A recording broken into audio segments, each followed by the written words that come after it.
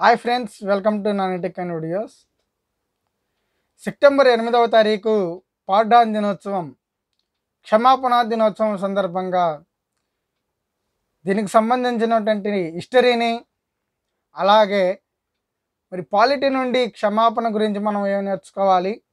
ఒక విద్యార్థిగా ఒక వర్డ్ విన్నామంటే ఈరోజు క్షమాపణ దినోత్సవం. క్షమాపణ అనే పదం మనకి పాలిటీలో చాలా ఇంపార్టెంట్. ఏ బి ఏ పేపర్ చూసుకున్నా కనుక మనకి క్షమాపణ అనేది ఏ ఆర్టికల్లో ఉండిద్దని అడుగుతాడు. కాబట్టి ప్రతి కాంపిటేటివ్కి ప్రిపేర్ అవుతున్నటువంటి ఎవ్రీ స్టూడెంట్ లేదా యాస్పిరెంట్ తెలుసుకోవాల్సినటువంటి వీడియో ఇది. కాబట్టి అందరూ పూర్తిగా చూడండి. పూర్తిగా ఎక్స్ప్లెనేషన్ చేస్తాను. సెప్టెంబర్ ఎనిమిదవ తారీఖు ప్రపంచ అక్షరాస్యత దినోత్సవం. జాతీయ ఉడుము దినోత్సవము పార్డాన్ దినోత్సవము క్షమాపణ దినోత్సవం world physical therapist day physical therapy day. Okay friends మరి ఈరోజు పార్డాన్ డే గురించి తెలుసుకుందాం. మరి దీని యొక్క హిస్టరీ బ్యాక్గ్రౌండ్ ఏంటంటే అమెరికా ప్రెసిడెంట్ అమెరికా ముప్పై ఏడవ ప్రెసిడెంట్ అయినటువంటి రిచర్డ్ నిక్సన్ చేసిన తప్పుని ఆయన తర్వాత వచ్చిన ముప్పై ఏడు ముప్పై ఎనిమిదవ ప్రెసిడెంట్ అయినటువంటి ఫర్డ్ ఆయన్ని క్షమించడం జరిగింది.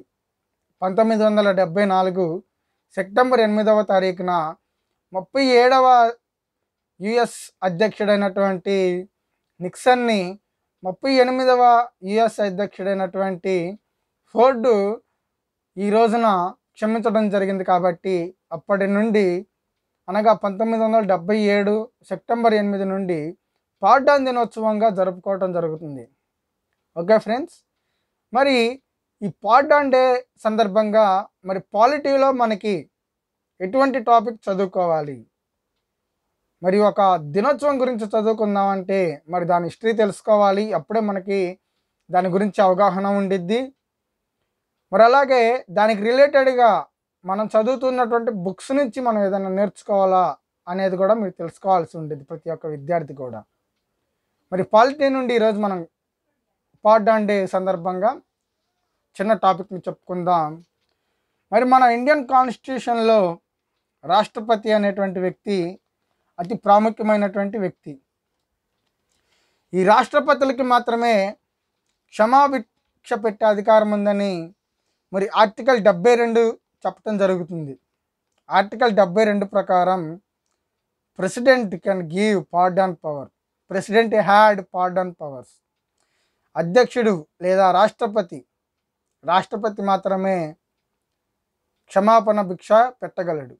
మరి ఏ ఏ రకాల పార్డన్ పవర్స్ ఉన్నాయో ఈరోజు తెలుసుకుందాం. మరి ఆర్టికల్ డెబ్బై రెండు ఆర్టికల్ సెవెంటీ టూలోకి వెళ్ళి ఈరోజు ఆ టాపిక్ ఏందని నేర్చుకుందాం ఫ్రెండ్స్.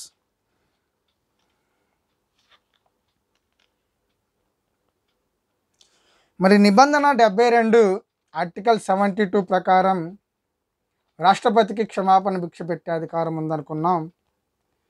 మరి ఇందులో ముఖ్యంగా మన దేశంలో ఉన్నత న్యాయస్థానాలైనటువంటి సుప్రీంకోర్టు హైకోర్టులు విధించిన శిక్షలను రద్దు చేసే క్షమాపణను ప్రసాదించగలడు. ఈ వాక్యాన్ని బట్టి మనం ఏం చెప్పుకోవచ్చు అంటే రాష్ట్రపతి ఎవరైనా సరే హైకోర్టే కాదు మరి మన దేశంలో అత్యున్నత అధికారము అత్యున్నత స్థానంలో ఉన్నటువంటి హైకోర్టు సుప్రీంకోర్టు. సుప్రీంకోర్టులు ఇచ్చినటువంటి తీర్పు అవి విధించినటువంటి శిక్షలను కూడా తగ్గించే లేదా క్షమించే మరి పవర్ ఉన్నటువంటి ఏకైక వ్యక్తి రాష్ట్రపతి అని మనం ఆర్టికల్ డెబ్బై రెండు ప్రకారం తెలుసుకోవచ్చు.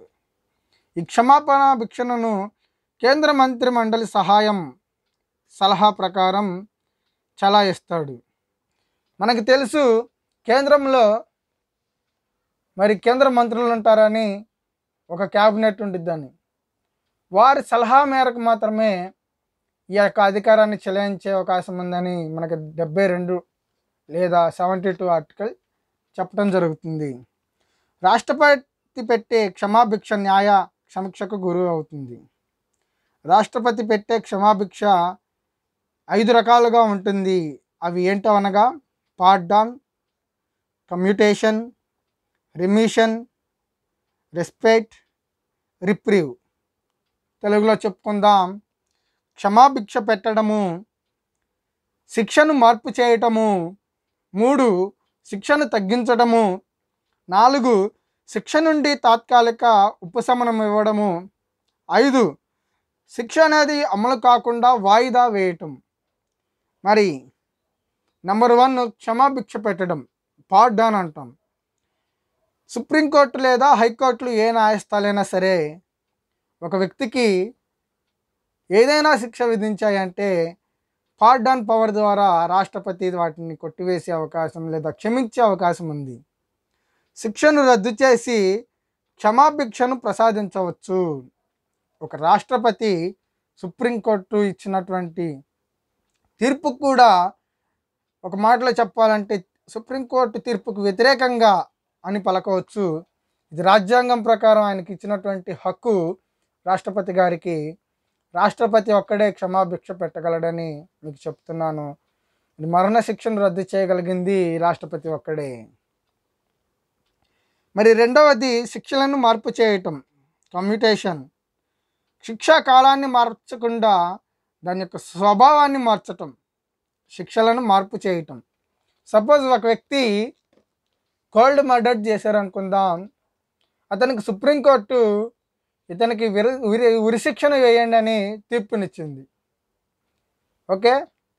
ఆ తీర్పుని మరి సవాల్ చేయటం అనొచ్చు లేదా క్షమాపణ ద్వారా రాష్ట్రపతి దగ్గరికి వెళ్ళి అయ్యా నాకు ఈ శిక్ష పడింది.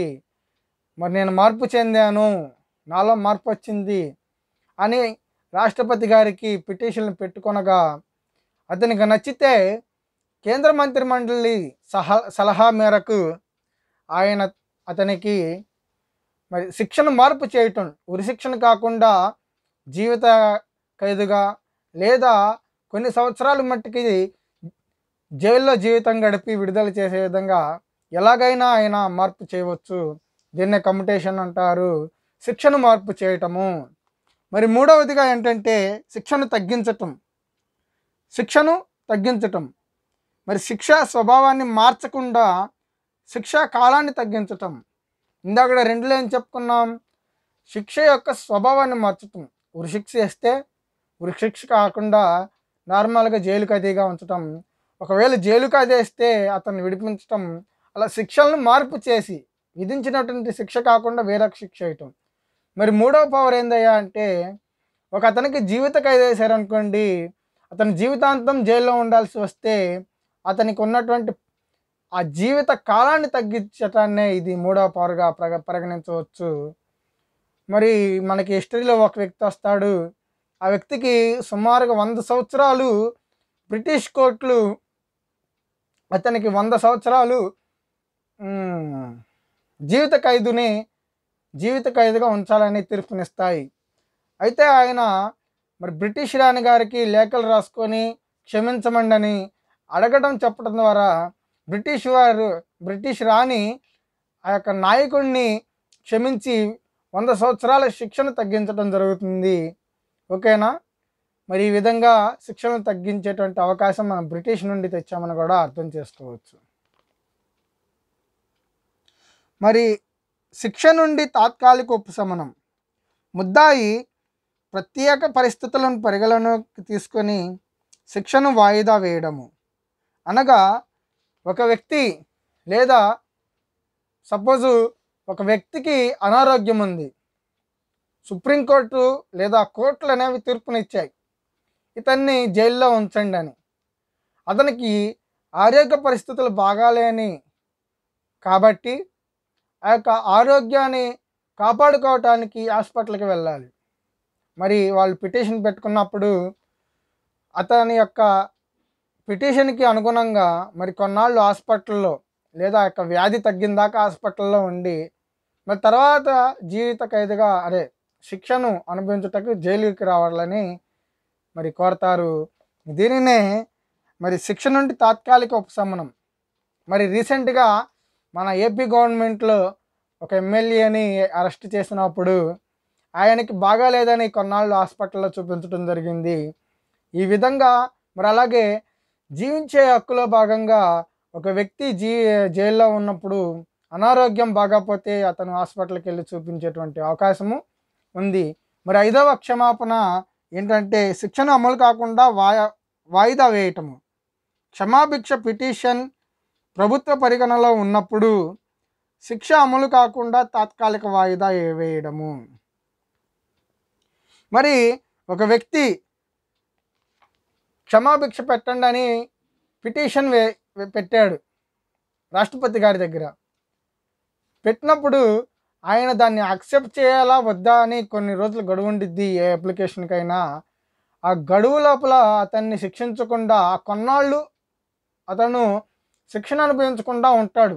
ఆ రాష్ట్రపతి మరి ఏం తీర్పు తీస్తాడని ఇదే ఐదవ పవరు. మరి ఒకసారి చెప్పుకుందాం. ఒకటోది క్షమాభిక్ష పెట్టడము పాడడాన్ అంటారు రెండవది శిక్షలను మార్పు చేయటం అంటారు. కమ్యుటేషన్ అంటారు. మూడవది శిక్షను తగ్గించటం రిమిషన్ అంటారు. నాలుగవది శిక్ష నుండి తాత్కాలిక ఉపశమనం రెస్పైట్ అంటారు. ఐదవది శిక్ష అమలు శిక్ష అమలు కాకుండా వాయిదా వేయడము రిప్రీవ్ అంటారు. మరి ఈ విధంగా భారతదేశంలో మరణ శిక్షలకు మరణ శిక్షను విధించే అధికారము ఎవరెవరికి ఉందంటే సుప్రీంకోర్టు హైకోర్టు సెషన్ కోర్టులు లేదా క్రిమినల్ కోర్టులకు కలదు. మరి మనం భారతదేశంలో ఉత్- ఉన్నత న్యాయస్థానమైనటువంటి హైకోర్టుకి అదే సుప్రీంకోర్టుకి మరి హైకోర్టుకి సెషన్ కోర్టులకి మరి మరణశిక్షను విధించేటువంటి అధికారం కలదని మనం తెలుసుకోవచ్చు. భారతదేశంలో మరణశిక్షను రద్దు చేసే అధికారము కలిగిన ఏకైక వ్యక్తి రాష్ట్రపతి. ఇందాక చెప్పాను మన ఇండియాలో ఎవరికైనా మరణశిక్ష విధించారంటే ఇక అతన్ని ఎవ్వరూ కాపాడలేరు. అతడు ఒకే ఒక్కడు రాష్ట్రపతి మాత్రమే. మన ప్రెసిడెంట్ గారికి మాత్రమే ఆ యొక్క అధికారం ఉందని మనం తెలుసుకోగలం. మరి మూడవది సైనికపరమైన శిక్షలను కూడా రద్దు చేసే అధికారం కలిగిన వ్యక్తి రాష్ట్రపతి. సైనికపరమైన శిక్షలు అంటే ఏదైనా మరి సైనిక న్యాయస్థానాలు ఉంటాయి. ఆ సైనిక న్యాయస్థానాలు కూడా విధిస్తున్నటువంటి శిక్షలను కూడా మరి రాష్ట్రపతి తప్పించగలడు. మరి ఈరోజు సెప్టెంబర్ ఎనిమిది పాడ్డాన్ దినోత్సవం క్షమాపణ దినోత్సవం సందర్భంగా ఆర్టికల్ డెబ్బై రెండులో రాష్ట్రపతికి క్షమాభిక్ష పెట్టే అధికారం ఉంది. దాని ద్వారా సుప్రీంకోర్టు హైకోర్టు సెషన్ కోర్టులు లేదా సైనిక కోర్టులు మరి మన మరణ శిక్షలను కూడా తప్పించేటువంటి ఏకైక వ్యక్తి రాష్ట్రపతి మాత్రమే.